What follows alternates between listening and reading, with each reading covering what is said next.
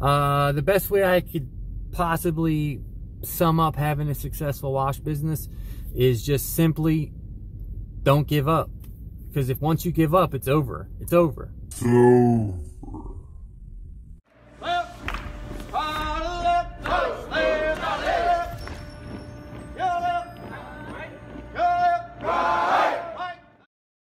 Yo, yo, what up guys? Mike here, Oleyn's Pressure Washing. So, just getting back in after a long day. Uh, been having a lot of long days and, um, you know, with, with running a business, it's not just doing the work, you know, and I'm trying to really work on getting the guys to do the work and me not having to really be there. And I know it's going to be little, little baby steps uh, a lot of the times now I'll be at the job and I try to just maybe even stay in the truck, take some phone calls, return some phone calls that I get because I get alerts from Jill's office all day long that people are calling. And some people just want to talk to someone, you know. And Jill's office is great, but they don't know, you know, it's kind of impossible for them to know everything that I know. So, um, but yeah, so it's just baby steps and uh, so the you know it's just been it's been a crazy few weeks. We're in the prime time you know knee deep in in in washing. Just go go go. We're booked out three weeks and that's a lot. That's a lot for me you know? Um my prices are higher than most of the people in my area and you know it's just the quality of work that we give is very very very above other people in this area. Um, as far as it's just the rinsing. The rinsing that I do alone.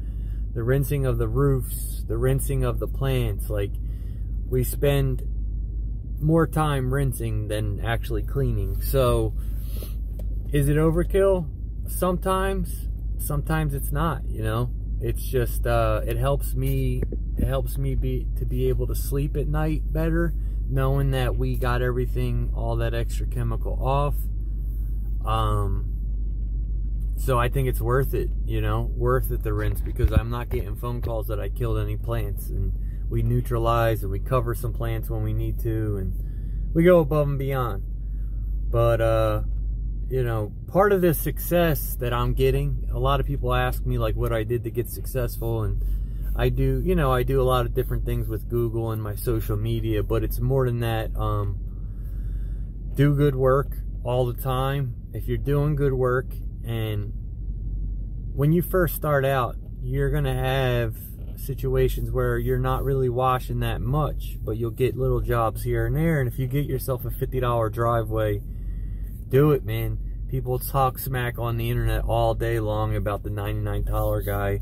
And to be quite honest, like, I'm sick and tired of people complaining about people charging really cheap. Because in my area, man, I am literally probably one of, if not the most expensive power washer in my area. Definitely one of them. Like, one of five expensive people. Not, I don't even want to say expensive, but charged correctly. Um, I mean, I don't do a roof for less than $300 and in my area that sounds cheap to probably some of you guys but I mean these people tell me oh my last guy charged 150 175 uh, I won't pay more than 200 that kind of stuff and they may be full full of crap they may not but I ain't got time for that man um, there's people out there that are willing to pay premium and they know if you do premium work and that's the thing about when if you're patient in this business and you don't get discouraged in the beginning and just walk away because you're not getting phone calls left and right and uh, you know you're not working every day it's okay. You, you can't quit. You just got to keep going do your $100 driveways, do your $75 driveways, take your time, do great work, clean the mailbox and clean the AC pad while you're there. You got time on your hands, so who cares? It doesn't matter. The, the, the price doesn't matter in the beginning. What matters is doing good work. And when you do good work and you have good marketing and you're you're active on Facebook and Google and all that kind of stuff, it's going to pay off. And you start accumulating reviews and next thing you know, your phone's ringing off the hook. You know, it could be a year, it could be 6 months, it could be 2 months, it could be 2 years. Doesn't matter. You have to just not give up. That cuz doing you know, as kids, we're trained we're trained as kids in school. If you think about this, when we were kids in school, you were taught a bunch of stuff in school, a bunch of useless nonsense, really. But you were taught that you go to school, then you go to college, then you get a job working nine to five, right?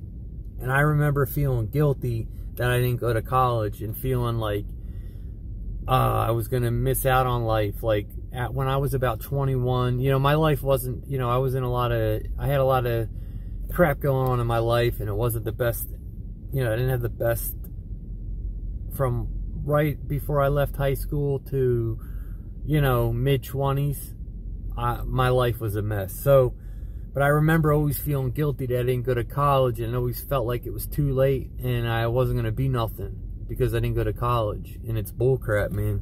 And I'm so glad that I got myself out of that mentality and realized that I, I didn't need to go to college and all I had to do was do what I want to do which ultimately ended up being this. Now, I have another business plan being worked on right now. I'll bring that to you guys later on. I gotta, there's more I gotta put into it. I don't want to get too far into it, um, but it's to be pretty good money. Uh, I've been doing a lot of research on it, so We'll, we'll, we'll come back to that later.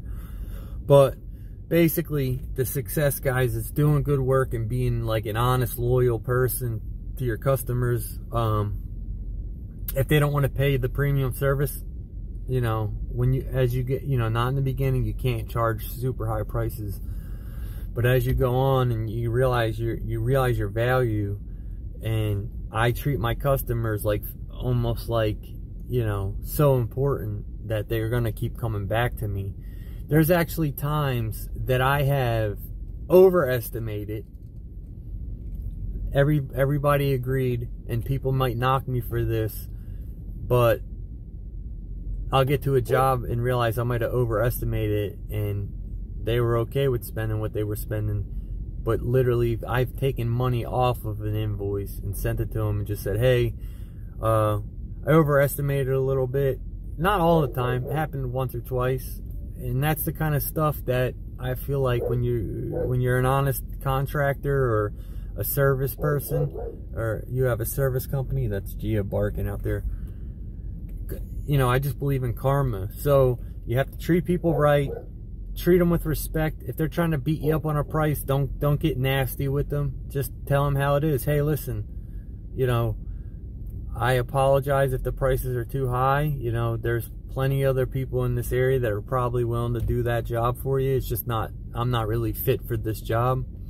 And if you think my prices are too high, we should probably just part ways and, you know, get another contractor. No hard feelings. But I get, the thing is, when I do get these people that pay the premium prices, they are so happy and they leave me reviews and they thank me because, just because my personality, my communication, my my level of work ethic. I make sure if I'm not doing the washing and my guys are there, I make sure they do a good job. I trained all these guys and I trained them because this is my name on this company. So I'm going to go above and beyond every time. So I'm maybe just going off a little bit of a tangent here. Listen, if you're starting out, go wash a driveway for 50 bucks. Who cares? Who cares what people say? Who cares? Who cares? Who cares? Get out there, Take your time, do a good job. The neighbors will come out and see you. Uh, the the more you're out there working, the more people are going to notice you. Get get good magnets on your truck. Get a good logo off of Fiverr. And this ain't expensive, guys. You just want to make sure they know who you are and what you do and how they get a hold of you. Um, name, number, and what you do. Obviously, you want to put like power washing or roof cleaning big. You want your phone number big, and you got to get some kind of branding going. So grab two different types of colors, you know, whether it's black and yellow, or I have more of like a green and black or a green and blue, you know. But I kind of have that Irish brand. Um, and it's been working out for me. And so just get out there, make people remember you, do the best work you can do, treat people with respect. People are going to try and beat you up. Don't cave in later on as you're getting busy. Don't cave on your prices. Just do what you think is right and as far as what you should charge. Nobody can tell you what to charge, you know. It's just you got to figure out what the square footage is and then come up with your square footage rate. That's the best way to that's the easiest way to do this. And like I said, you just and if if this was easy, it is easy. But if it was really easy, everyone would do it. And the reason why we're able to do what we're doing as entrepreneurs is because we took that leap and we took that first step into making a business, which I think many people think about starting a business, but not many people actually follow through with it. So if you're on watching this video, uh, go ahead, like it, but you're and subscribe, do the whole thing, hit the notification bell. But the point I'm trying to make is if you're watching these videos, you're already 10 steps ahead of most people, and you're already obviously serious enough to be starting a business. So you're ahead of the game. Just you can't give up because once you give up, it's over with. So just don't give up. And like I said, I've become really successful not even full not even three full years of doing this business and i'm doing really well and it just keeps getting better and i'm thankful for everything i'm grateful i'm always giving back to people so if you have questions comment them below or go into the facebook entrepreneur army group make sure you answer those questions or else you won't get in it's free but you just got to answer questions that you would be so you would be shocked about how many people more people try to get in that group than are in the group that just don't answer the questions so they don't get in. So, I mean, the, the group would be like almost probably 5,000 people, but only, how many, I think there's almost a thousand, 700, something like that, maybe 500, I don't know. That's all that's in there. They're serious, they answered the questions. But anyway, guys, that's the key. Just don't give up, all right? So if you want to have a successful wash business or any type of business, you just got to do this. And that is not give up. Guys, make sure you stay humble, keep hustling, and stay hungry. Catch you next time.